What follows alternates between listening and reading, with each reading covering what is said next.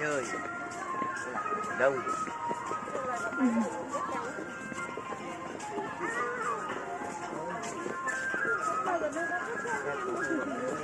Đầu rồi? tưởng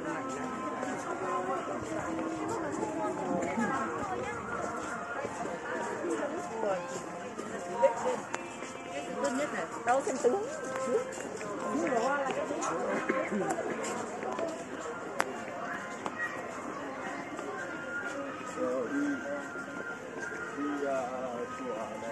áo một bên cổ áo là nhiều hai con đó